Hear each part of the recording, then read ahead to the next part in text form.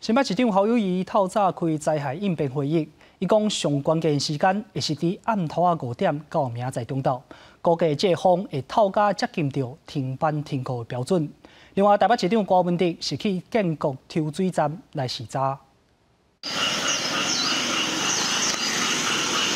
路手缀着轿车，倒伫大路骑机车的人就对边仔两过。警方接报了后，到现场来管制，进行交通的疏散，也联络区公所到场来排毒。中度风台虽然若要来啊，新北市府开设灾害应变中心，防范唔敢来大意。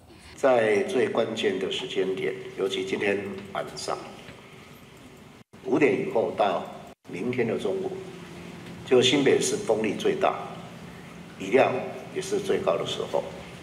虽然雨量没有达到停班停课，风力几乎要接近停班停课。郝宇仪强调，风力有够接近停班停课边缘，东北角市区有风性停班课，主要是考虑风台可能伫短时间内再变做强烈的风台。台北市部分市长关文天再去主持风台汇报了后，再来到建国抽水站来视察。但不敢说百分之百的，不过因为预计最接近台湾是在今天晚上嘛，所以。所以，如果今天没有放假，明天也不要想放假了。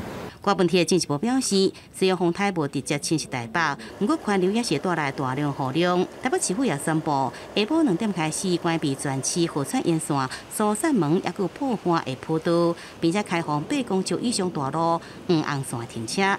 记者从报道。